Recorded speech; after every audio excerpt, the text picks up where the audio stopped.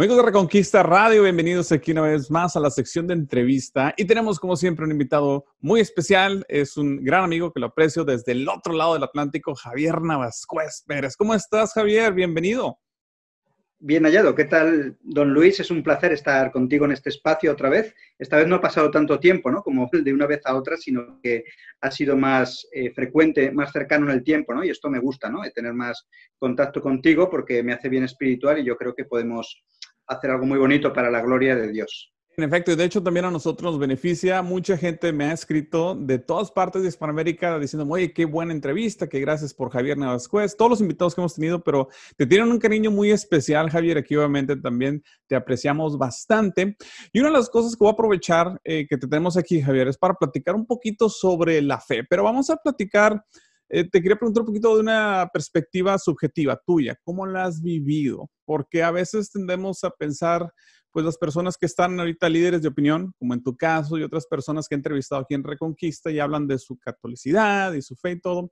Y a veces pienso yo, puedo estar equivocado, los tenemos a ver un poquito más como, pues como seres míticos, de cierta manera. Entonces, pensé, estuvimos platicando Javier y un servidor, le dije, ¿sabes qué, Javier? Platícanos un poquito de tu andar de la fe. O sea, uno no tiene idea, a lo mejor creciste en un lugar pagano, no sé, este, bueno, ¿cómo fue tu inicios? En primer lugar, te quería aclarar, cuando he dicho subjetivismo, ya me he dado miedo a la palabra, ¿no? Quiero decir que hay que tener mucho cuidado con el subjetivismo, ¿no? Las verdades de Dios, de la fe, son objetivas, ¿no? Y hay que tener mucho cuidado siempre con el subjetivismo, ¿no? Simplemente yo voy a contar el testimonio de mi conversión, pero Dios me libre, ¿no? De ese subjetivismo, ¿no? O sea, voy a dar mi punto de vista, desde luego, pero siempre en consonancia con la verdad inmutable que enseña la Santa Madre Iglesia. Sí. Entonces, bueno, vamos a empezar. Primero que nada, eh, no vamos a asumir, ¿creciste en un seno muy religioso, católico, no, protestante? ¿Cuál fue, por ejemplo, tu contexto de fe? Eh, bueno, pues gracias a Dios nací en Zaragoza y tuve la dicha de ser bautizado muy pronto. No pasó ni un mes después de nacer en la Basílica de la Virgen del Pilar, ¿no? Fue una, un don y una gracia inmerecida por mi parte. O sea, ya la Virgen me había elegido, ¿no? Para ser bautizado allí, ¿no? Y es una cosa que marca mi vida fue el día 7 de julio, yo nací en un 15 de junio y el 7 de julio ya estaba recibiendo las aguas bautismales, ¿no? Ya estaba, era miembro de la iglesia y mm, es algo que marca, ¿no? Realmente es una protección de la Virgen y la he notado toda mi vida, ¿no? Esa Virgen del Pilar que me llamó, me llamó para ser bautizado allí y nunca me ha abandonado en toda la vida, ¿no? Y eso, eso me marcó. Me marcó bastante, obviamente, en un lugar muy especial, dicho sea de paso. ¿Tus papás, por ejemplo, fueron muy uh, devotos o fueron normales, católicos nominales? o ¿Cómo fue? Mis padres tenían fe, era una familia católica, íbamos a misa el domingo. Eso normal, ¿no? Lo que pasa es que, claro, no hoy en día en la modernidad, ¿no? No, no, eran los padres de Santa Teresita de Lisieux, ¿no? Ese ejemplo de caballero católico que se rezaba el rosario todas las noches en casa. No, era católico de domingo, fui a los padres escolapios que dieron una buena educación católica, pero mm, luego ya pues cuando uno llega a la adolescencia, pues como dice la canción, ¿no? Por caminos que se alejan me perdí, ¿no? ¿En serio? Claro, realmente uno, pues aunque tuve la gracia a los 16, 18 años conocer un grupo católico, lo que era TFP Covadonga en el momento, que son ahora, bueno, una escisión de los heraldos del Evangelio, ¿no? O sea, es, la TFP, los heraldos, ¿no? Tuve la gracia de conocer este grupo, me hizo mucho bien, eh, me enseñó a amar la iglesia, eh, a amar, defendía mucho pues, la civilización medieval, ¿no? Donde la cristiandad estaba en todo su apogeo, los cruzados, los, los santos guerreros, ¿no? Realmente me hizo mucho bien conocer la, grandeza de la iglesia, ¿no? Llamar la iglesia, ¿no? Lo que pasa que, bueno, era una edad muy mala, estuve como uno o dos años en este grupo y claro, cuando te alejas de este grupo y dejas de rezar, pues poco a poco, aunque piensas que no, pues te vas metiendo en el mundo, ¿no? Te metes ya en otra dinámica, otro tipo de amistades y te alejas, ¿no? Te alejas al principio porque es curioso, ¿no? Este proceso, ¿no? Por mucho que en los 16, 18 años meditaba sobre el infierno, los novísimos, rezaba mucho, lo tenía muy claro en ese momento, ¿no? Y parecía, digo, uy, esto lo voy a tener siempre claro y nunca me voy a olvidar de ello, ¿no? Siempre ninguna noche en pecado mortal, antes morir que pecar, lo tenía muy claro, digo, jamás, pero llega un momento que con los años, o sea, ya tenía 19, 20 años, te vas alejando de las buenas compañías y sin llevar una vida especialmente desordenada, pues realmente em, te alejas, te enfrías en la fe hasta dejar de ir a misa el domingo, ¿no? Por ejemplo, ¿no? O sea, ya no solo es como un paso, o sea, primero vas entre semana a misa, muy devoto, luego ya pues mm, él dices, bueno, cumplo al menos el domingo, pero si vas con esa mentalidad vas de caída libre y ya ni el domingo, ¿no? Llega un momento que, bueno, al principio te da un poco de remordimiento, dices, bueno, no ir a misa un domingo es pecado mortal, pero dices, bueno, no sé, es como, yo pienso que el pecado es como a veces una anestesia, ¿no? O sea, a veces es una gracia tener un sentimiento de culpa muy fuerte cuando te vas a confesar, darte cuenta, pero cuando te vas endureciendo y ves que pecas y no pasa nada, estás como una nebulosa de ficción, ¿no? Como que, no sé, te dejas llevar por la vida, estás pensando en tus estudios, en tus cosas, y te olvidas de Dios. O sea, como que, no sé, en aquella época pues me gustaba mucho hacer deporte, salir con los amigos y como que Dios no tenía espacio en mi vida, ¿no? fue una cosa por, por tibieza al principio, pues uno luego pues ya se aleja, ¿no? Y no, y no vendría la, la conversión hasta años después, ¿no? Sí, el peligro de la tibieza espiritual, yo lo he señalado muchas veces porque a todos nos puede afectar o nos ha afectado. Eh, noté algo que mencionaste, me hizo pensar bastante, Javier, un dicho, no sé si lo tengan en España, en México lo decimos es, el que anda con lobos a aullar se enseña. Eh, sobre la influencia de las amistades, cómo pueden ayudarte o pueden alejarte en especial. Claro, es lógico. Yo también he tenido influencias positivas en mi vida de amigos buenos, piadosos, que me han llevado a Dios y realmente esto se agradece, ¿no? Es cuando a quien buen árbol se arrima, buena sombra le cobija, ¿no? Y espiritualmente es lo mismo, ¿no? Pero cuando te rodeas por de un ambiente más bien pagano, donde incluso no solo no se practica, sino se hace burla de las cosas de Dios, pues a veces en un principio pues te dejas llevar, te dejas llevar y como decía San Agustín, ¿no? No hay ningún pecado que un hombre cometa que otro no pueda cometer, ¿no? Realmente, eh, cuando te alejas de Dios, también es una gracia muy grande que a pesar de, alejarme de Dios tampoco he caído en, cosas irreversibles, ¿no? En el mundo de la droga, por ejemplo, en cosas que realmente la Virgen me ha protegido mucho y no ha dejado que me alejase demasiado, ¿no? Y me ha tenido pues unos añitos ahí y enseguida volví, volví a la fe y ahora ya pues con 26 años, o sea, estuve un tiempo, pues bastante, ahora que lo pienso, son bastantes años, ¿no? Desde 18, 20, alejado, pero desde los 26 hasta ahora, pues ya he seguido firme, ¿no? Eh, en perseverando, ¿no? Porque ya no es, no es, lo mismo los 18 años, ¿no? Que todavía estás ahí, sino los 26 ya te das cuenta de la decepción, de lo que te has alejado y dices, bueno, he tenido otra oportunidad de volver, pero quizás no haya otra, ¿no? Y con las cosas de Dios, cuando vas entrando en años, pues dices, no se juega, ¿no? Sí, fíjate, platicando con hace años atrás con una, un presidente de un seminario protestante, me estaba, pues estábamos conversando, intercambiando puntos de vista y todo, y me comentó una estadística que me dejó muy marcado. Decía que aquí, al menos en los Estados Unidos, si un hombre para los 20, 23 más o menos, o sea, esa edad, los tempranos 20, no ha enmendado el camino con Dios, no ha hecho su paz, digamos, regresado al camino, se reducen las posibilidades de que esa persona se convierta, no es imposible, pero se reducen drásticamente hasta casi, casi un 90%. Dice, es extremadamente difícil para llegar a, alcanzar a esa persona con un evangelio, una religión, una conversión religiosa. Uy, es tremendo lo que dices, el 90%, pero tiene su lógica, ¿no? Realmente si cuando tomas decisiones en la vida, ¿no? ¿Qué vas a hacer con tu vida?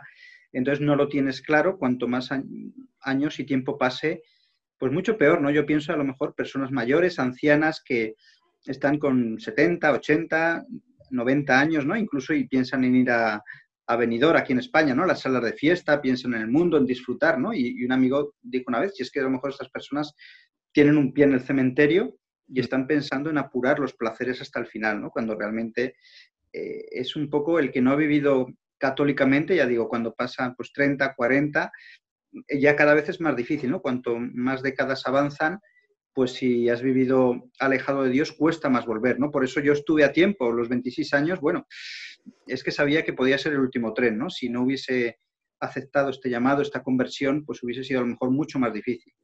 Entonces, ¿qué sucedió? Por ejemplo, ya estás en este rumbo diferente, poco a poco alejado. ahorita me, mencionaste eso de que sientes como una nebulosa cuando el pecado te va atacando, te va alejando de Dios, casi como un mosquito un zancudo, lo decimos acá de este lado del mundo, que te pone un gel antes de picarte para que no sientas la picadura y ya después que te saca la sangre, ahora sí, pues das el manotazo, pero pues ya después de...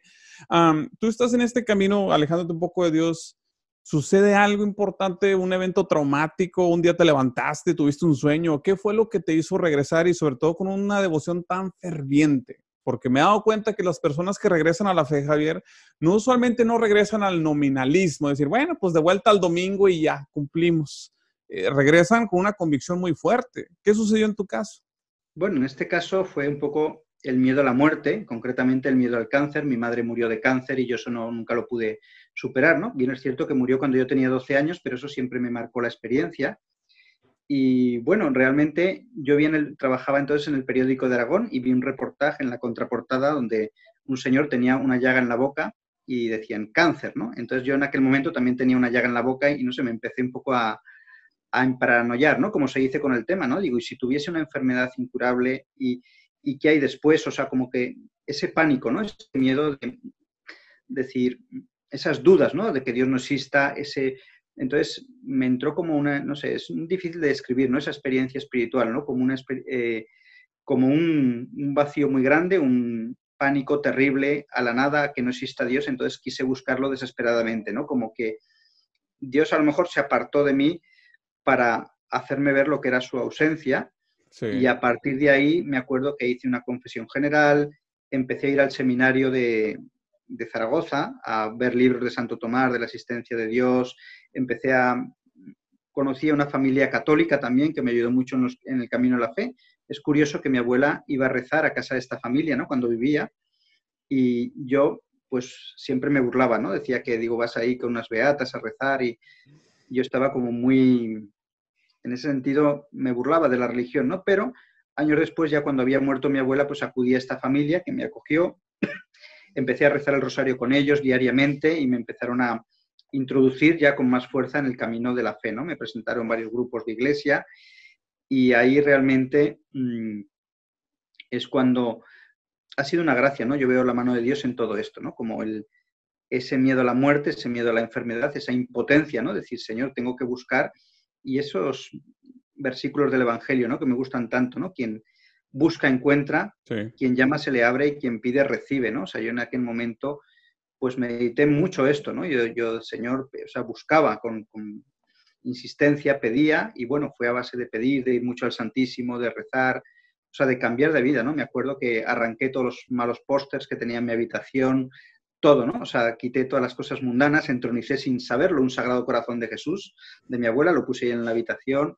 una imagen de la Virgen y fue un cambio muy radical, ¿no? O sea, entonces fue como decir, este es el camino que quiero, ¿no? Es seguir a Dios. Y bueno, y con altibajos, pues gracias a Dios, pues lo he ido manteniendo hasta ahora y no hay que fiarse, ¿eh? porque realmente la presunción es lo peor, ¿no? Uno que puede pensar, bueno, yo ya no me aparto nunca del camino de Dios, no, no.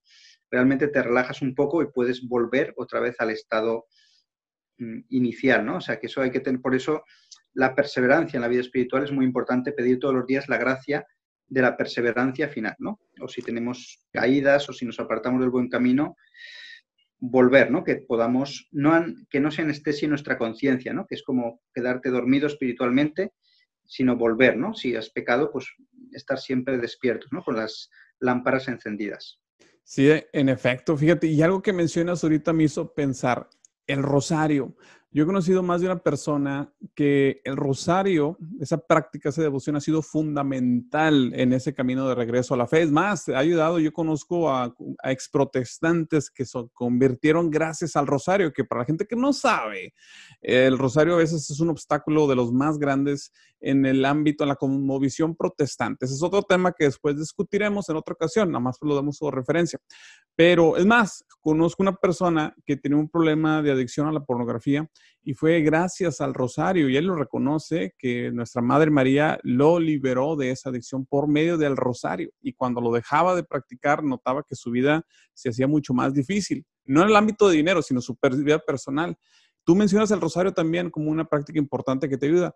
¿A qué crees que tenga el rosario que sea tan especial, Javier, en tu opinión? Bueno, el rosario es la oración preferida de la Virgen, María Santísima, María Purísima, y la verdadera devoción es la imitación, ¿no? Realmente si rezas el rosario, pues pides a María, pues parecerte a ella, ¿no? Y ella es muy pura, ¿no? Es incompatible rezar el rosario todos los días, rezarlo con devoción y tener una vida de impureza, ¿no? Realmente si, si quieres estar por el camino de la fe, si rezas diariamente el rosario pidiendo la gracia de la santa pureza, pues la Virgen lo concede. Y esto potenciado por eh, la comunión frecuente, ¿no? Yo diría las dos cosas, ¿no? Por un lado, la comunión frecuente es muy potente, es el cuerpo de Cristo, pero a mí me llama la atención que la Virgen en Fátima pidió rezar el rosario todos los días y no pidió ir a misa todos los días, ¿no? Que es bueno hacerlo, porque realmente a lo mejor, pues, eh, el rosario se puede rezar en cualquier momento, la gente sencilla pues lo reza, es muy bueno rezarlo en casa, ¿no? Y la, la misa diaria, pues a lo mejor no todo el mundo puede hacerlo, ¿no? Ya digo, el que pueda es mejor hacerlo, con el rosario y la comunión diaria, pues es mucho más potente, ¿no? Es como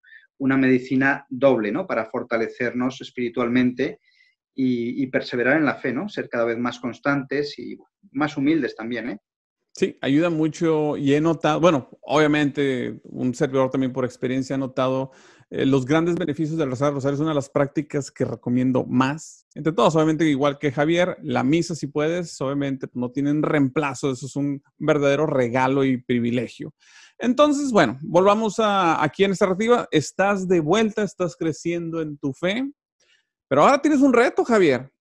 Porque si mal no tengo entendido, pues una cosa es que ibas, o sea, que tú estés convencido de la veracidad de Dios y de su iglesia y todos los dogmas, pero otra cosa es vivirla y vivirla en un mundo cada vez más hostil a las verdades de Dios, a final de cuentas, usualmente en oposición a los dogmas divinos. ¿Cómo le haces? Claro, por eso. A mí particularmente me ayuda mucho la infancia espiritual de Santa Teresita, ¿no? Realmente ya dije en el anterior programa que no era una devoción ñoña o simple, ¿no? poco viril, sino realmente la infancia espiritual es reconocer tu miseria, tu pobreza, y desde ese reconocimiento interior de que uno solo nada vale, pues confiar en el Señor. Y no, o sea, yo creo que realmente es la única manera de, poder perseverar y no desesperarte, ¿no? Porque si no, pasan los días, seguimos teniendo muchos pecados, tendencia a la pereza, a la gula, bueno, todos los siete pecados capitales, en mayor o menor medida, tenemos siempre la tentación o, o, la tendencia, ¿no? Entonces, realmente, aceptando eso, el barro del que estamos hechos, pues dejar que el Señor nos vaya cambiando día a día, ¿no? Luchar cada vez rezar más, rezar mejor, cada vez ir con mejores amistades, tener una vida más ordenada, pero no solo ordenada, sino más fructífera, ¿no? A mí me ayuda mucho estar en los medios de comunicación porque el decirlo ayuda a vivirlo, ¿no? Realmente ayuda mucho. O sea, si no, sería muy incoherente, ¿no? Predicar una cosa y llevar una doble vida, ¿no? Entonces, realmente esto también es un don de Dios, ¿no? Conocer la vida de los santos, conocer la teología y a medida que vas conociendo a Dios, en definitiva, pues más te enamoras de Él y más quieres vivir como Dios manda, ¿no? Como Él dice, ¿no? Aunque ya te digo, a veces, humanamente hablando, tenemos momentos de tristeza, de mucha, no sé, como de mucho tedio, o a veces nos cuesta mucho. También un amigo mío me plantea, dice, ¿cómo es que los católicos estáis siempre tan tristes, ¿no? Deberíamos tener un gozo tremendo y a veces humanamente pues también tenemos, quizás en el mundo que nos ha tocado vivir, ¿no? Es lógico también deprimirse un poco, ¿no? Por mucha fe que tengamos. Claro, claro. Pero fíjate, ahorita a lo mejor que mencionas algo muy importante, si tú, queridísimo amigo o amiga que lo estás viendo, a lo mejor pues estás tratando de enmendar el camino, por así decirlo, ¿verdad? Y dices, bueno, ¿cómo le hago? Una cosa es que esté convencido de, o convencida de mi pecado, otra cosa es decir, ¿cómo combato ese pecado? Javier acaba de dar dos puntos muy importantes. Una, pues emular y estudiar la vida de los santos. La otra, una devoción como el rosario, obviamente las prácticas y disciplinas espirituales. Poco a poco están creando de cuenta que un ambiente idóneo para que puedas tú sobrellevar ese, esos retos, esas tentaciones que todas vivimos a diario, esa cruz que tenemos que cargar, ¿verdad, Javier? Sí, también ayuda mucho la presencia de Dios, ¿no? Hacer en todo momento de nuestra vida, tener presente pues que Dios nos está mirando y tratar de aprovechar el tiempo, ¿no? Cuando uno trabaja en medios de comunicación y tiene que hacer muchos reportajes, entrevistas, tienes todo el día ocupado, pues es fácil, ¿no? Estar siempre eh, concentrado, no estar ocioso, ¿no? No caer en la pereza, ¿no? Porque a veces la propia actividad de los medios no te permite nada, ¿no? Y luego, pues siempre que, que uno tiene tiempo libre, pues ya sea un viaje, ya sea una peregrinación, ya sea un encuentro, que sea algo edificante, ¿no? Que ayude a ir a Dios, ¿no? Toda la vida. Yo creo que es una lucha, es una lucha constante, es una lucha que no es fácil, pero tenemos las armas necesarias, ¿no? Para vencer, ¿no? También a mí me ayuda mucho la liturgia tradicional, ¿no? Ir a la Santa Misa en, latín. Sí. Como antaño se celebraba y se sigue celebrando, de hecho, ¿no? En algunas eh, parroquias. Eso me ayuda mucho, ¿no? Vivir esa espiritualidad tradicional, ¿no? Para estar más cerca de Dios y estar en la Santa Misa con más respeto, más reverencia. Claro, claro. Para la gente que a lo mejor no está familiarizado con este término, porque sé que una somos generaciones diferentes ya, o sea, las nuevas generaciones a lo mejor no saben de lo que nos referimos. Hay varios ritos en nuestra Iglesia Santa Católica Apostólica. Uno de esos se le conoce como el rito extraordinario, que era el antiguo ordinario, como lo quieras decir. Es el, la misa tridentina, la misa en latín, muy bonita. Si no has tenido esa experiencia, se la recomiendo ampliamente. Eh, si nunca has visitado, es más, he conocido gente, una vez más, con esto de protestantes que han ido a una misa en latín y se han quedado pasmados. O sea, ha sido un vehículo de conversión a veces, de, tan reverente y tan bonito. Tiene todo, tiene estética, tiene reverencia, tiene riqueza litúrgica, entre muchas otras cosas más. Javier, si me permites una pregunta, tengo una curiosidad y para toda la gente, ayúdanos a entender un poquito esto que mencionabas del pecado. ¿Qué crees tú que es algo que en tu vida te aleje del pecado? Por ejemplo, dices, tengo que hacer esto, pero usualmente cuando caigo en esta rutina o no sé, veo esta serie de televisión, no, no lo que guste más, ¿qué es algo en tu vida que te aleja usualmente de Dios y te acerca al pecado? Bueno, a mí pensar en la muerte y sobre todo en unos ejercicios espirituales que hice, un sacerdote dijo, un niño de 6, 7 años en el infierno por un solo pecado mortal, ¿no?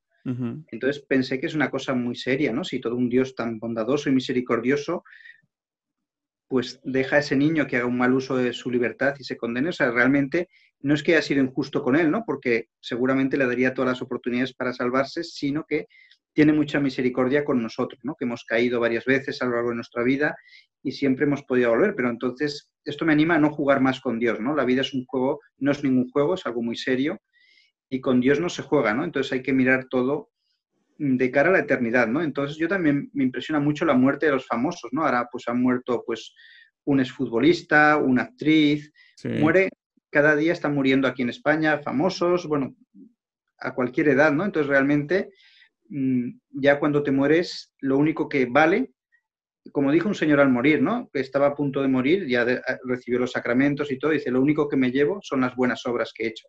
Sí. Entonces, realmente eh, saber eso, ¿no? Poner, ponerte en perspectiva de eternidad, ver que realmente es lo único que importa, ¿no? Entonces, eso yo creo que me ayuda mucho meditar, reflexionar sobre esto. Tampoco esto es estar amargado, ¿no? Siempre pensando, no, puedes estar con alegría, pues disfrutar de las cosas, pero sabiendo que todo tanto en cuanto Dios lo quiera, ¿no? Puede ser un día en el campo, un día soleado, con amigos, puedes estar muy bien, siempre y cuando eso no te impida estar unido a Dios.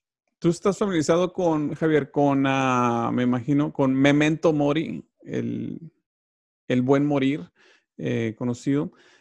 Siento, no sé qué pienses tú, que a lo mejor sobre todo en estos tiempos es algo que, hace falta traer. Eh, como tú dices, no es que estemos amargados, no es que no queramos vivir o tengamos gozo, al contrario, pero pienso que es importante tener ese contexto también hacia dónde vamos, en polvo eres, en polvo te convertirás, y eso en realidad nos ayuda a disfrutar la vida más, porque sabemos que va a acabar un día, pero también nos ayuda a tener esa reverencia que está claramente ausente en estos tiempos. No sé cómo lo veas tú. Bueno, disfrutar la vida en cuanto a tener la conciencia tranquila, ¿no? Esto es un valle de lágrimas y tampoco vamos a, hemos venido aquí a disfrutar, ¿no? O sea, hemos venido a hacer la voluntad de Dios. Muchas veces Dios es un Padre bueno y permite pues que disfrutemos, pero a veces la vida también es sufrimiento, ¿no? O sea, no se trata tanto de, disfrutar, sino hacer aquello para lo que estamos hechos desde toda la eternidad. Sí, en efecto, y, parte de ese trayecto a lo mejor es pensar que pues un día vamos a encontrarnos cara a cara con nuestro Señor y hay que dar eh, respuestas sobre lo que hicimos aquí en esta tierra. Javier, entonces pasemos ahora que ya estás viviendo, estás en el mundo, estás viendo tu fe. ¿Qué notas tú ahorita en, en general, digamos en España, porque es donde tú vives? ¿Qué es lo que ves que dices tú, sabes que si pudiéramos agregar esta práctica, esta rutina espiritual o no sé, algo que tú digas que nos podría ayudar bastante como generación. ¿Tú cómo lo ves? Bueno, pues es muy difícil. Vivimos en un neopaganismo. Realmente la mayoría de gente aquí en Barcelona, por ejemplo, es una ciudad donde abierta al mundo, abierta al Mediterráneo, pero abierta, o sea, es muy mundana, ¿no? Realmente es muy difícil encontrar fe, encontrar cristiandad, ¿no? Tampoco se puede juzgar a las personas, ¿no? Porque muchos de ellos que están alejados pues serán como estaba yo o como podemos estar, volver a estar, ¿no? Entonces, es difícil mm, hoy en día em, recuperar la cristiandad, ¿no? Así a grosso modo, ¿no? Pero sí que se puede hacer pequeñas luchas, pequeñas resistencias para intentar cambiar el mundo desde dentro, desde tu propio hogar, con una vida virtuosa, hacer medios de comunicación católicos, apostar por la virtud y confiar que poco a poco, pues, ya digo, con la oración, con nuestro esfuerzo, pues que vayan las cosas cambiando, ¿no? Aunque realmente nos ha tocado vivir en una posmodernidad donde es muy difícil que desaparezca el pecado, esa visión naturalista de las cosas, ¿no? No estamos en la Edad Media, donde Dios era el centro, donde había sacralidad, había respeto, no, realmente es una sociedad donde el hombre parece ser la medida de todas las cosas y los que tenemos la dicha de tener fe, pues resistimos tratando de defender los derechos de Dios. O sea, entonces, por eso también estamos un poco pesimistas porque vemos la realidad, ¿no? Claro. Nos gustaría que una sociedad católica, una sociedad virtuosa, ese es el ideal al que aspiramos, pero es muy difícil, por mucho que hagamos nosotros, por muchas gotas de virtud, siempre habrá más un océano como de pecado, ¿no? Entonces esto humanamente se nos hace muy complicado, ¿no? Entonces por eso hay que confiar en el Señor y hacer en cada momento lo que Él nos pide. También el día del juicio no tendremos que dar cuenta de, los pecados de los otros, sino de los nuestros, ¿no? Entonces hacer lo posible por... Eh, bueno, la santidad no es otra cosa que hacer la voluntad de Dios, ¿no? Donde Él nos quiere, ¿no? Realmente los santos han transformado el mundo en su tiempo, han hecho mucho bien, aunque también cuando vivían los santos seguía habiendo pecado. ¿eh? San Juan Bosco, pues creo que pudo resucitar a un niño que había fallecido, ¿no? Un milagrazo, pero luego no pudo convertir a un masón, ¿no? O sea que a veces es complicado. Es complejo, pero la, la, virtud que nosotros vivimos, de hecho, a veces tiene un mayor impacto que cualquier otra cosa que podamos pelear en términos terrenales. Ahorita que mencionas, Javier, también sobre el contraste de la vida medieval con la vida moderna y todo, me llama la atención porque obviamente uno crece bajo un contexto, una educación, pues de influencia hasta cierta manera muy pagana, muy masónica, de otras corrientes no cristianas y te pintan ese mundo medieval como un mundo oscurantista, un mundo malvado, pero cuando empiezas a, ver la verdad, cuando empiezas a investigar, te das cuenta que era obviamente todo lo contrario, no era idílico porque no existe la perfección más que en el cielo, pero eh, estaba mucho, muy alejado de las leyendas, casi otra, es una pseudo leyenda negra, por así decirlo, en cuanto al, al mundo medieval, y eso para mí fue impactante, no sé para ti. Sí, la sociedad medieval, una sociedad teocéntrica donde Cristo reinaba, ¿no? Estaba, impregnaba todo el ambiente y realmente claro que había pecado en la Edad Media, claro que había mucho retraso, a lo mejor pensemos en medicina, ¿no? Que morían de, de, cualquier cosa, pero realmente era una sociedad que sí que miraba más a Dios, ¿no? Y el pecado se hacía a escondidas, había, se luchaba por un ideal. Yo creo que es el, el culmen de la cristiandad, ¿no? La Edad Media, ¿no? Veamos esas catedrales góticas como la imagen externa ¿no? de lo que era una sociedad católica. ¿no? Había reyes virtuosos, había guerreros, había una vida familiar y yo creo que a partir de ahí ya vino la decadencia de lo que es la Baja Edad Media, luego lo que es el Renacimiento, eh, bueno, todas las revoluciones que ha habido, ¿no? La Revolución Francesa, la Revolución Marxista, luego la Revolución de Mayo del 68, ha habido como varios hitos en decadencia, ¿no? Para abajo, ¿no? Pero que realmente en la Edad Media es el modelo, ¿no? También la escolástica pues, ha dado grandes luminarias como Santo Tomás de Aquino y no ha sido superada. Sí, hasta la fecha. La han tratado de mofar porque es la única alternativa que tienen, pero superada no es. en eso de las épocas que mencionas donde la gente tenía una visión más cristocéntrica, obviamente lo recalcabas, había pecado porque siempre va a haber. ¿Tú crees, Javier, honestamente, que podamos en un futuro restablecer un tipo de ciudad, obviamente no medieval, porque pues eso fue en el pasado, pero una, digamos, versión diferente en un futuro que se asimile a esa época medieval o, de plano esto ya, ya, ya zarpó, ya quedó en otros lados y, y... Estoy convencido de que así será, pero no de que lo veamos nosotros, ¿no? Porque realmente aquí las cosas van muy lentas, ¿no? No se cambia una sociedad que de la noche a la mañana pues pase de ser pagana a ser súper católica, no, esto es un proceso de muchos años, ¿no? De la misma manera que la ingeniería social lleva años demoliendo la civilización católica, pues tendría que haber un proceso a la inversa, ¿no? De reconstrucción, ¿no? De tocar fondo y sobre las cenizas de una cristiandad que ya no está, pues empezar a construir otra vez, ¿no? Dios tiene muchos medios, puede suscitar nuevos santos, puede suscitar también él tiene mil maneras para que la humanidad vuelva a él, ¿no? Entonces, hoy en día que parece cuando la posmodernidad toca fondo, pueden hacer una corriente a lo mejor de filósofos, de pensadores que, vuelvan otra vez a, la fe católica tradicional, ¿no? Y esto sería muy bueno, muy positivo. Para alguien que no está familiarizado con el volver a la fe católica tradicional y todo, ¿cuál sería, por ejemplo, el primer paso que alguien quiera explorar un poquito más al respecto? ¿Qué le recomendarías tú, Javier?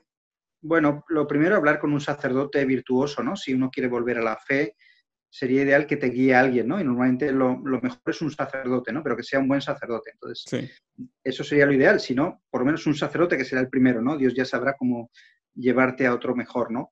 Entonces, claro, lo, más importante es querer cambiar de vida, hacer una confesión general, ¿no? O sea, es ponerte a bien con Dios, ¿no? Eso es lo, lo fundamental, ¿no? Y empezar a frecuentar los sacramentos, la Santa Misa Dominical, lo primero, y luego también es bueno una formación básica, ¿no? Conocer el catecismo, conocer también, pues, la Sagrada Escritura, pero ojo, hay que tener mucho cuidado. Si no se tiene formación, no uno no puede coger la Biblia y leerla, pues, así de cualquier manera, ¿no? También, por eso hay que tener una formación, una base previa, ¿no?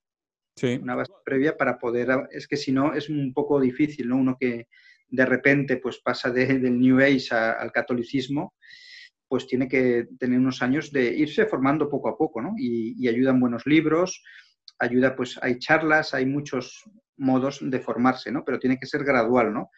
Y generalmente, salvo que seas un genio, ¿no? Un Chesterton que, él, aunque pasó del protestantismo, pero él ya tenía una intuición muy buena, ¿no? Y comprendió ya todo lo católico a la primera, pues a veces tarda años, ¿no? Es un proceso de muchos años. Sí, es un proceso que te va formando, marcando. El mismo apóstol San Pablo le tocó ser discipulado un buen tiempo antes de que empezara a hacer sus grandes obras y esas epístolas que todos conocemos. entonces, antes de que se nos acabe el tiempo, Javier, yo tengo una pregunta, porque a veces hay muchas personas, muchos padres que están ah, lidiando ahorita con un problema, que tienen hijos que se alejaron de la fe. ¿Qué les puedes recomendar tú a ellos? ¿Qué, acciones pueden tomar concretas hoy en día si un hijo bueno, la fe? El consejo es muy sencillo, ¿no? El que dio, creo que era San Ambrosio, a la madre de San Agustín, ¿no? No le hables a tu hijo de Dios, sino habla a Dios de tu hijo, ¿no? Realmente rezar. Es lo, fundamental es rezar por ellos. Se puede ir hablando en tanto en cuanto su alma se vaya abriendo, decirles, mira, vas por un mal camino, esto no puede ser, pero lo más importante es rezar, ¿no? Y es un misterio porque muchos rezamos y nuestros familiares a lo mejor no se convierten, pero hay que seguir pidiendo con fe y haciendo sacrificios, no solo rezando, sino haciendo sacrificios por la conversión de nuestros familiares. No hay más, ¿eh? Cuando dice la Virgen en Fátima, haced penitencia, mm. haced oración, ahí está dando las dos llaves para conseguir las cosas espirituales, ¿no? Por cierto, qué bueno que me acordaste también, Fátima. Ahí viene, bueno, a menos aquí en Estados Unidos, la película de Fátima se va a estrenar en agosto, si todo sale de acuerdo a los planes. Eh, obviamente, pues no lo hemos visto. Eh, pero hablando de Fátima, Javier, rápidamente, ¿qué nos puedes decir en síntesis sobre eso y por qué es tan relevante Fátima para nosotros hoy en día? Porque es un término que escuchamos a todos lados, hasta incluso los no cristianos, por ejemplo, usan Fátima. Pero ¿cuál es el referente de Fátima? ¿Qué es importante acerca de ella? Es una aparición que tuvo mucha trascendencia en el siglo XX, ¿no? Estaba en la Primera Guerra Mundial y dijo la Virgen, si la humanidad no se convierte, vendrá otra peor, ¿no? Como fue la Segunda Guerra Mundial, ¿no? Así ha sido. También un mensaje de oración y de penitencia. Vieron los niños el infierno y a partir de ahí cambió su vida y sobre todo la Virgen dijo que los sagrados corazones de Jesús y de María estaban muy ofendidos por los pecados de los hombres, ¿no? Y era 1917. Pensemos eh, a principios del siglo XX, ¿no? Cuando ves hoy en día fotos de esa época y las mujeres llevaban faldas hasta los tobillos, se vestía con más decencia, no había, vamos, no había televisión, era todo mucho más decente que ahora, ¿no? Entonces pensemos mm, cómo tiene que estar sufriendo ahora Jesús y María viendo los desórdenes que haya en el año 2020, ¿no? 100 años después prácticamente de las apariciones de Fátima. Las apariciones de Fátima se las recomiendo ampliamente que investiguen ese tema. Hay aquí en este lado de Estados Unidos un lugar que se llama el Fátima Center. También tienen la versión en español. Te dan todo tipo de recursos. Muchos de ellos son gratis, te soy honesto. Ah, no sé cuáles, va, para que vayan y pregunten al respecto. Hay un santuario también en Fátima, eh, entre muchas otras cosas más. No es la única aparición mariana, pero obviamente basado en nuestros tiempos es de las más relevantes, si no es que la más relevante, ¿va? obviamente, y, vale la pena explorarlo, ¿verdad, Javier? Sí, quien mucho peregrina, poco se santifica, dicen, pero sí que a los santuarios marianos como la Virgen de Guadalupe y en México, o Lourdes o Fátima, si se puede, pues hay que ir y sobre todo que sea un momento, un punto de encuentro con Dios, un punto de, conversión. ¿no? Yo creo que en esos lugares se derraman muchas gracias y hay que saberlas aprovechar. No es bueno cada cierto tiempo pues poder ir a un santuario. A veces no tiene que ser muy lejano, ¿no? En todas las ciudades siempre hay un templo dedicado a la Virgen, hay una catedral. A veces el que por circunstancias no pueda viajar, pues tampoco está en eso, ¿no? Realmente puede ser una ermita pequeña de un pueblo perdido, pues tiene una conversión impresionante, ¿no? No se trata tanto de ir a Tierra Santa, sino de, que nuestro corazón sea Tierra Santa, ¿no? Que para que la gracia de Dios, pues, dé fruto. Y eso, fíjate, ya eh, tengo una pregunta, otra, que me salió antes de que se me acabe. Ya sé que, que estamos eh, corriendo fuera de tiempo, pero ahorita que mencionabas de una ermita, una capilla y todo, una de las experiencias más impactantes para mí en este camino espiritual ha sido cuando voy a pueblos chicos aquí en Estados Unidos eh, y voy a la capilla en adoración al Santísimo. Esa contemplación, esa solitud ha sido a veces muy impactante para mí, me ha beneficiado, me ha curado espiritualmente más que otras devociones. No estoy diciendo que no tengan validez o que no sean importantes, para nada, pero ese acercamiento a Dios en, contemplación eh, tiene mucho impacto. No sé cómo te ha pasado a ti, Javier. Bueno, es que los grandes santos, los grandes místicos tenían esa contemplación de Dios, ¿no? Realmente ese amor a Jesús Eucaristía muy grande, ¿no? Y ahí se nota el legado hispánico, ¿no? En esos pueblos que visitas por ahí, por Dallas, se nota la labor de los misioneros españoles hace años, ¿no? Que lamentablemente muchos olvidan, pero si Dios hubiese querido, pues eh, Estados Unidos podía haber sido español, ¿no? También, ¿no? Porque llevamos la fe a América y bueno, habría que ver por qué no, no pasó eso, ¿no? Dios no, así no lo quiso, pero realmente en cualquier caso el legado hispánico en América, en Estados Unidos, es mm, brutal y todavía se conservan ¿no? esos vestigios. Lo quieren quitar, curiosamente, como estamos viendo en las noticias, tumbaron la estatua de San uh, Serra, entre otras cosas, están tratando de borrar ese legado, pero me acordé con la plática pasada que teníamos que fue un niño, algo así, mártir, me platicabas que le, que le arrebataron el crucifijo y que él dijo, me puedes quitar esa cruz, pero esta no me la puedes mm. quitar. Eh, pueden tumbarnos las estatuas y sí, nos duele, pero el legado ahí está y a Dios no lo pueden borrar. Claro, hay que luchar por recuperar la cristiandad y tampoco hay que agobiarse, hay que mirarlo con optimismo, haciendo cada uno lo que puede hacer, ¿no? Rezar el rosario podemos, podemos rezar, podemos evitar el pecado, y eso, a la larga, si perseveramos, sí que transformaremos ¿no? a gente a nuestro alrededor que, quiera pues. ¿no? Se pueden hacer muchos apostolados. Los medios de comunicación bien usados es un medio excelente para llevar las almas a Dios, pero hay otros medios. ¿eh? Hay gente que hace apostolados en las cárceles, visita hospitales.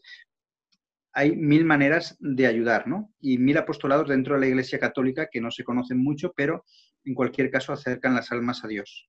Ahí está.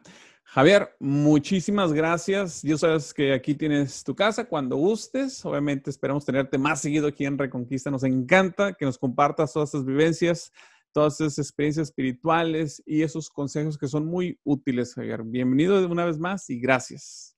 Cuando queráis, ha sido un placer. Estaré más veces si Dios quiere y sobre todo intentaré que venga más gente católica de España para dar su testimonio, ¿no? Porque yo creo que puede hacer mucho bien. Sí, sí, mucho, muy concuerdo contigo. Y por último, Javier, ¿dónde te pueden contactar?